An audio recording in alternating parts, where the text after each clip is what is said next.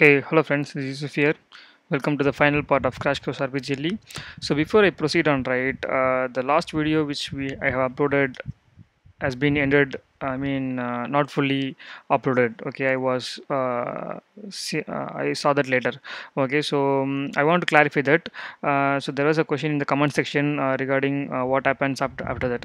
So it's very simple so i think uh, we corrected one error which is that in06 is star on uh, which we change basically right? And then we got another error. The error is nothing but emsg add is actually our variable name for the error message. But if you just go and see uh, somewhere here okay i have emsg all. So that is a uh, error message we got after that after the video ends. And then after i corrected that uh, it was working fine as expected. So with uh, with uh, saying that right so we're gonna proceed with our next coding. So let me log in okay so yeah let's finish this course with this part. So as usual i have the remaining portions here. So if you go and call this one uh, if you go to student login previously it was nothing which means uh, if you go to, to password okay these two options we have not uh, coded. Okay now i have got the first one which is a view my profile basically. Okay if you go there you should be able to see your details. Okay so i'm not doing this uh, edit profile because i'm going to give this as a uh, homework or whatever it is so you can just try it by yourself.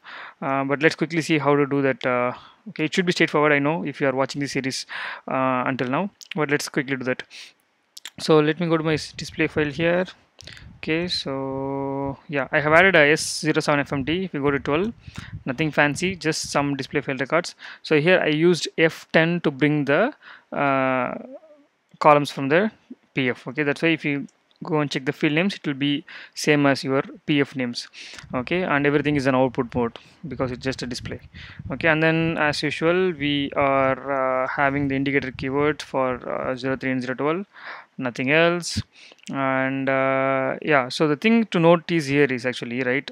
This will come from here okay? After we have the student uh, details okay we'll be having the option one then we'll go in okay? But we need to display the student information okay? But the thing is the screen was uh, uh, the screen was proceeded by entering the student details only okay? Because it is actually a student menu okay? And if you go and see the parent screen of this basically this one student login here uh, the user already entered the student user ID. So we got we are going to use this user ID, okay, and then uh, find the user for that user detail for that user ID, and then we're going to display it. Okay, so if you see this, it is the field called user ID. So we will be using this field. So just I'm telling you as a reference. Okay, and then what we have in S05 FMT, if you have anything, uh, I'm going to add one error message here.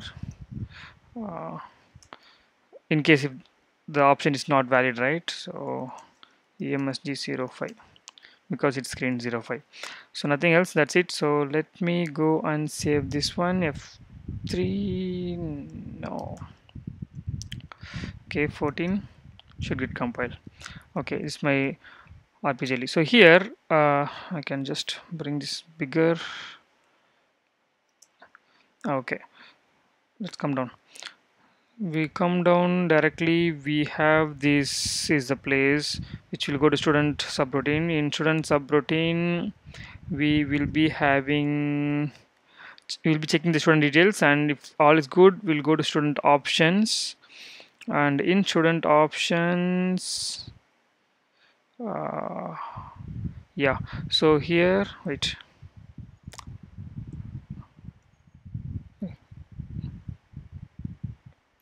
uh, where is the code man. I'm lost now. Okay let me get the code and give me a moment uh, ta, ta, ta. okay. If the role student the positive match execute this student option. Let's catch this guy. F10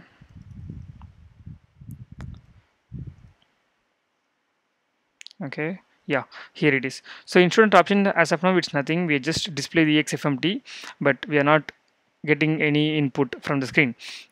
Okay but now we are going to get the input from the screen. So which means in the exfmt we can either give option 1 or 2 okay and based on that we are going to code. So let's quickly do that one. So here if it is not f12 we'll come down. So here i'm just going to have a select statement uh, something like uh, uh, yeah select when I think it's TUOPT. Double con double confirm this, which is the is entering one or two, right? That field, okay, equal to one.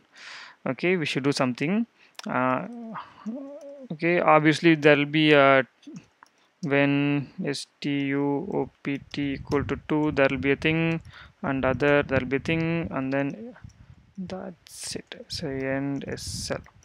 So as usual, if it is other we, uh, we know that emsg05 equal to invalid option we can put like this.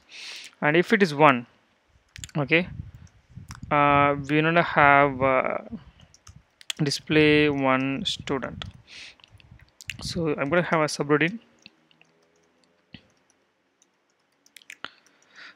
here it's very straightforward because uh, in this subroutine I'm just going to display the new screen which we added which is A07 FMT and uh, for to bring the details right uh, we just need to get the details with the user ID field because the user ID field which is already having the user ID right? So we just with that user ID we just need to chain it and then get the data. So let's quickly code this display one student. Uh, okay so I can copy this okay and then can copy this. Can change this to display one student. Okay and here as usual do while star in03 equal to star of. Okay okay generally if you put exfmt s07 fmt it will just display the screen. But before display right I need the data. So I can do here like chain user id to students. So this command will chain this user id with the students database and then it will get me the data okay? Then it will display it okay? And then if suppose after displaying it if they pressed f12 I simply want to leave this subroutine. That's it. Okay let's see how this works. File 14 call. So here we go. Student login 22222 password okay so we got the screen. If you press enter it says invalid option because we didn't give any option. If you give 2 it didn't say anything. Uh, we need to clear this one okay? We'll do that. And then if you give 1 it goes to the screen and you see all the details. So it's pretty straightforward okay? So the only missing piece or the thing to correct is we can have a fi option to clear it and then uh, by default we can clear this one. So let's do that. Emsg05 okay this guy. So before even we come to this place what we can do uh, after we display exfmt we can clear the msg05 so every time it gets cleared. Okay and also if it is not f12 uh, we need to check something like else if star in05 equal to star on okay then I will also do clear emsg05 and clear stu stu opt yeah so stu opt is correct. So I just realized that also. Okay file 14 cool. So now if you go there password enter it's there.